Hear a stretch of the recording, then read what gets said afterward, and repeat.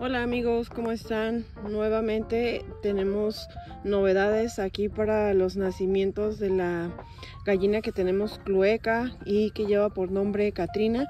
Y en la tarde del día de anoche estuve verificando la fertilidad de estos huevos y hemos descubierto que ninguno de los dos, seis, está fértil.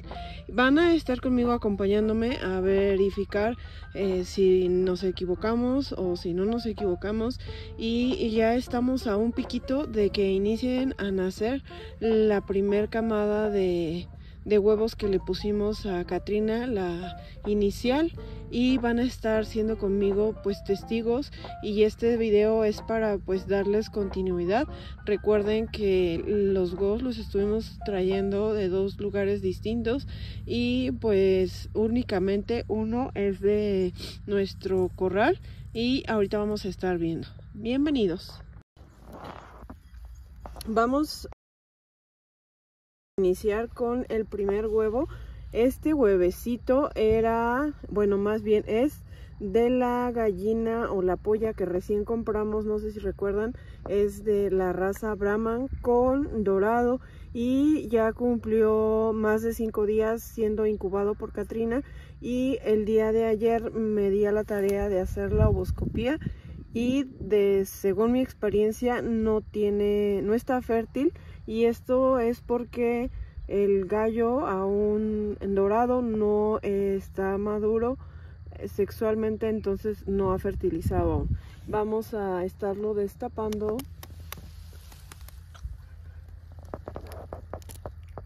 Y como pueden observar salió enterito. No no tiene no tiene huevecillo no tiene perdón no tiene pollito. Vamos a vamos a estar rompiendo este que lo estuvimos poniendo el día 22 de este mes. Para el día de hoy estamos a 28 23 24 25 26 27 tiene 6 días. Y vamos a estar verificando que tampoco tenga em, embrión. Y vamos a estar viendo aquí. Vean no tiene. Si como pueden observar llevamos dos verificados. Este sería el huevecito número 3 este fue de mm, otros que trajimos del lugar que no es aquí casa y tampoco tiene ni siquiera lo inició a formar. Entonces llevamos 3 de 6 continuamos con el número 4 y vamos a estar viendo tampoco tiene. Como ven cayó completamente y no tiene este no está fértil.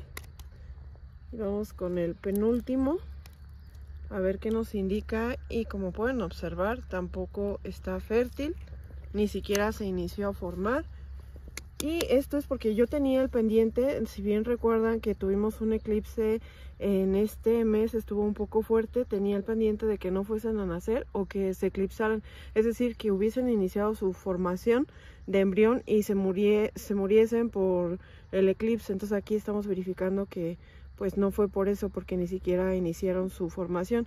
¿Qué quiere decir esto? Que eh, para esta prueba que estoy haciendo, mm, en mi experiencia queda refutado eh, lo del eclipse en cuanto a la formación del embrión, toda vez que estamos verificando que no hubo fertilidad. Si hubiese dañado el eclipse eh, estos huevos o hubiese tenido alguna injerencia, hubieran sido fértiles, es decir, que el embrión hubiese empezado a formarse y hubiese muerto. Entonces, pues esto es una prueba y este sería el último de los huevecitos y tampoco está fértil.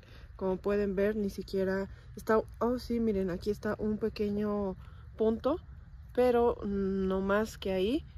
Y tenemos que pues los seis huevecitos no estuvieron fértiles y mm, pues vamos a ver con cuántos nacimientos nos quedamos de Katrina también debo contarles debo contarles que estos huevos se los suelo quitar lo más pronto posible cuando es en incubación natural y, es por eh, son huevos de mm, gallina.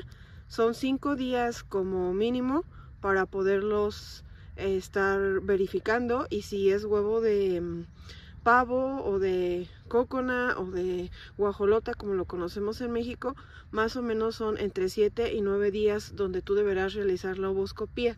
Ya saben que yo lo estoy haciendo con la finalidad de que estos ah, huevos no tengan pues a explotarnos o a la gallina y pueda batir a los demás porque en algunas ocasiones empiezan a formar un gases interiores entonces eh, suele con el roce de los mismos o cuando la gallina está moviendo sus huevos los choca o los frota con otros y pum explota no incluso nosotros cuando agitamos así te puede explotar en la mano alguno de ellos.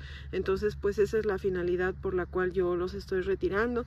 Y pues hasta el momento estas son las noticias que tenemos aquí en nuestro gallinero y su gallinero virtual.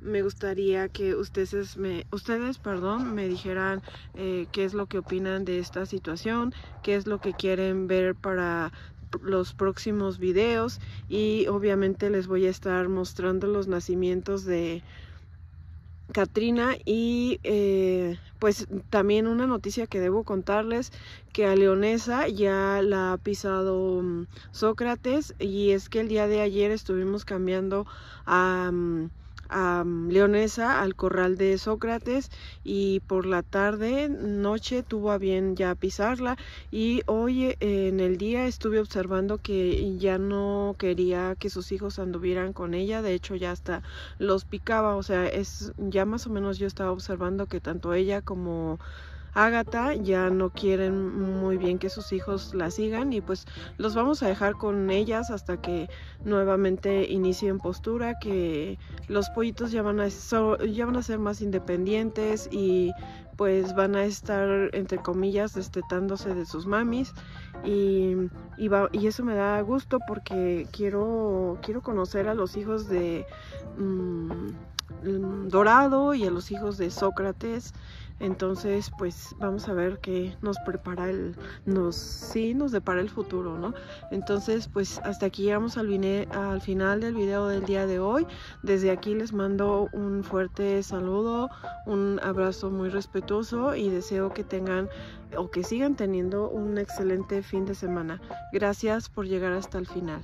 Bye bye.